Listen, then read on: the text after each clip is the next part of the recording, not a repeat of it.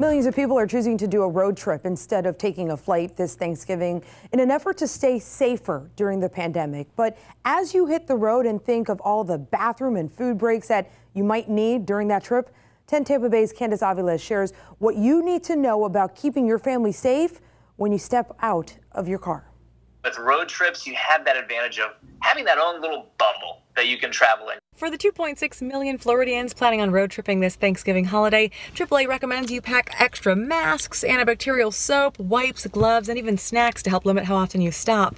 But they also recommend checking out something called TripTik. But one thing that we've added this year with TripTiks is a COVID 19 restrictions map where people can not only plot out their trip, but also find out if there are any closures or any kind of other restrictions that would impact their trip as well. You can see which states require masks, what rest stops are open, and any pandemic curfews that may be in place. For example, the states in yellow have restrictions in place. Orange, mask requirements, and green, like Tennessee, no travel restrictions. Some restrooms are going to be different depending on where you stop, of course. Some will be cleaner than others. For parents nervous about the cleanliness of public restrooms, AAA says to try to wait for the restroom to be empty before going in because they have poor air ventilation.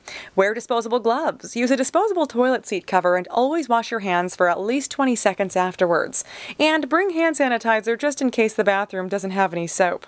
If your go to rest stop bathroom is closed, consider a fast food restaurant or a national chain as an option, as long as it's not too far off track. We are expecting fewer travelers than last Thanksgiving, but there is definitely more of an interest in road trips versus air travel. You'll also want to wear disposable gloves or at least wash your hands after touching gas pumps. And don't rely on hotels to be open for a late night place to crash. Call ahead for a reservation instead. Whether using TripTik or other helpful trip apps like Roadtrippers and Around Me, AAA says driving has its safety perks over flying. You have complete control over how clean your vehicle is, and you know full well who that person is that's sitting right next to you and whether they're sick.